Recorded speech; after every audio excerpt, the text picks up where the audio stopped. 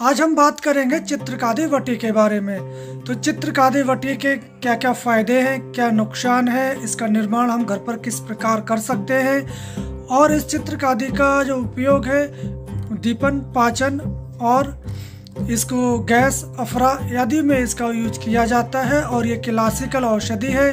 सभी कंपनियाँ इसका निर्माण करती हैं और आयुर्वेदिक और एलोपैथिक मेडिकल पर आपको ये उपलब्ध आसानी से हो जाती है। परंतु जो बाज़ार से मिलने वाली चित्र कादेवटी है, उसमें उतनी गुणवत्ता नहीं होती और उसमें जो है नमक की मात्रा भी अधिक होती है। तो जो आप चूसते हैं तो आपकी जीवा भी जलने लगती है। तो ऐसे में हम इस चित्रकादी बटी को घर पर ही निर्माण करते हैं और बहुत, जो हम निर्माण औषधि घर पर करते हैं, उसके स्वाद भी अच्छा होता है, जीवा भी आपकी नहीं जलती है और शरीर में काफ़ी अच्छे इफ़ेक्ट भी डालती है। तो इस चित्रकादी बटी में हम कुछ अलग से कुछ वस्तुएँ डालते हैं, जिसके कारण ये बहुत ही इफ़ेक्टिव हो जाती है। तो इस चित्रकादी बटी को आप घर पर बहुत ही आसानी से बना सकते हैं और हम इस वीडियो में आपको पूर्णतया उसकी जानकारी आपको बताने वाले हैं तो आप हमारे साथ अंत तक बने रहें। अगर आप जड़ी बूटी और आयुर्वेद में रुचि रखते हैं तो आप इस चैनल को सब्सक्राइब करें, साथ में इस वीडियो को अपने मित्रों और दोस्तों को शेयर करें। और तो आज की महत्वपूर्ण जानकारी हम स्टार्ट करते हैं कि चित्र का बटी को हम किस प्रकार बनाएँ। चित्रकादी बटी बनाने के लिए हमें कुछ औषधियों की ज़रूरत पड़ती है। तो औषधियाँ कुछ इस प्रकार हैं। इसमें हमें चित्रक मूल, इसमें थोड़ी लिखने में गलती हो गई है, ये चित्रक मूल है। और इसकी हमें छाल लेना है 20 ग्राम।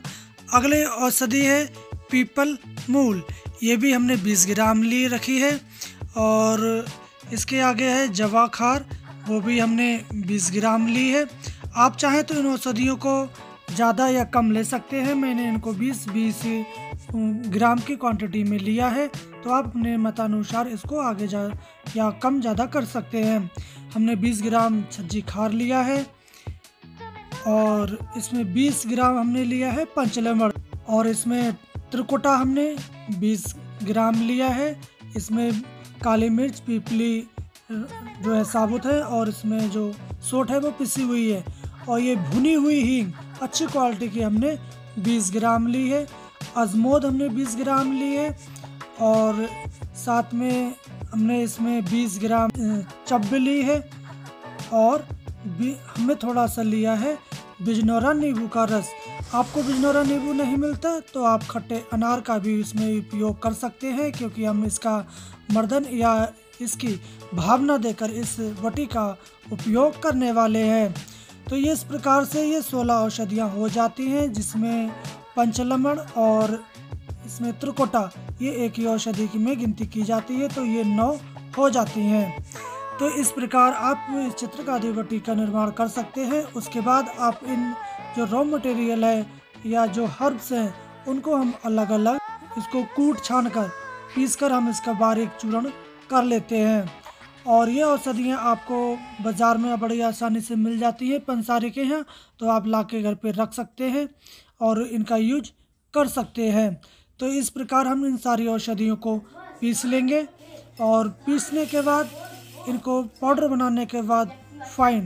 फिर इसमें हम इस बिजनौरा नींबू का जो रस है, उसकी हम एक भावना देंगे। भावना, जब तक हम इसकी देते हैं, तब तक हम इसकी कुछ फ़ायदे के बारे में बता दें। तो दी, जो चित्रकादी वटी है, ये वात और कफ को दूर करती है, शरीर में पित्त की मात्रा को बढ़ाती है। और ये शरीर में दीपन, पाचन का काम करती है, जिनका खाना पचता नहीं है, उसको पचाने का काम करती है।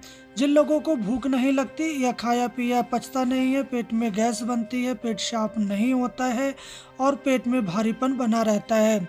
तो ऐसे लोगों के लिए ये चित्रकादी बटी आप 250 सौ से लेकर 500 सौ की मात्रा में खाना खाने के बाद आप चूस सकते हैं, जिससे आपका खाया पिया पचेगा और भूख खुल के लगती है।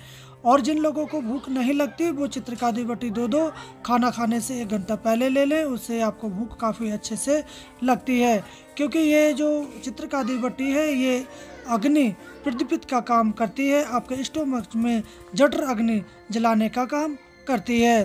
तो इस चित्रकादी बटी का यूज़ किया जाता है। उसी प्रकार अगर आपको गठिया या आम बात में आप इस चित्र का दिवटी का उपयोग दो दो गोली, महाराष्ट्र क्वात बलारिष्ट और दसमुलाक्वात इन तीनों रिश्तों को आप दो दो चम्मच ले लें, ये छः चम्मच हो जाती हैं और आधा कप पानी के साथ आप इस चित्र का दिवटी दो गोली सुबह, दो गोली दोपहर और दो गोली शाम यूज़ करते हैं। तो आपका जो आम बात है या जो आपके जोड़ों में जकड़न है, अकड़न है या जो आपका आम जम गया था शरीर में, उसका पाचन करके शरीर से बाहर निकाल देती है। तो इस प्रकार इस चित्रकादी पट्टी का यूज़ किया जाता है। उसी प्रकार आपके पेट में गैस अफरा रहती है, पेट साफ़ नहीं होता है तो भी आप इस चित्रकादी पट्टी का खाना खाने के बाद दो गोली चूसे तो आपका सुबह को पेट भी बहुत अच्छे से साफ़ होता है। तो हमारा जो पाउडर था, वो तैयार हो गया है। उसके बाद हम इस चित्रकादी पट्टी में जो बिजनौरा नींबू की हम भावना देंगे। अगर आपको बिजनौरा नींबू ना मिले तो आप बाज़ार से मिलने वाला जो कागज़ी नींबू है, उसकी एक भावना दे दें। अगर आपके पास ये दोनों ना मिले तो आप जो खट्टा वाला अनार है, उसकी भी भावना दे सकते हैं। तो मैंने, मेरे पास बिजनौरा नींबू है तो मैं उस बिजनौरा नींबू के रस से इसको भावना देंगे। तो इसको हम करीब पूरे आठ घंटे इसकी घुटाई करेंगे। अच्छे से जब घोटते घोटते ये गोली बनाने लायक हो जाए आटे की तरह तो इसकी हम करीब 125 से लेकर 250 सौ की छोटी छोटी गोलियाँ तैयार कर लेंगे और इन गोलियों को आप सुखा कर छायों में रख सकते हैं और इसका उपयोग लंबे समय तक कर सकते हैं। तो मैं इसमें बताना भूल गया था कि इसमें जो पंच लवड़ है, उसमें हमने जो सावर नमक है, उसकी जगह हमने इसमें शुद्ध नौशादर डाला है, जिससे ये लीवर पे भी काफ़ी अच्छा इफ़ेक्ट डालती है। तो इस चित्रकारी बटी में हमने इतना जो है परिवर्तन किया है। तो इसमें नौशादर कुल हमने पाँच ग्राम डाला है, वो भी शुद्ध। तो इसके डालने से इसका स्वाद भी अच्छा रहता है, ये ज़्यादा नमकीन नहीं होती है। और इसमें हींग भी हमने भुंजी हुई भुनी हुई हींग डाली है, अच्छी क्वालिटी की तो इसमें स्मेल भी बहुत अच्छी आती है। तो इस प्रकार आप चित्रकादी बट्टी का उपयोग घर पर कर सकते हैं। जो पित्त प्रवृत्ति के लोग हैं, वो इस औषधि का यूज़ ज़्यादा ना करें। अगर वो करते हैं तो अपने आस पड़ोस के जो वैद्य हैं या आयुर्वेदिक डॉक्टर हैं, उनकी देख रेख में करें, क्योंकि ये पित्तवर्धक होती है। इसका जो प्रयोग है, लंबे समय तक आप ना करें।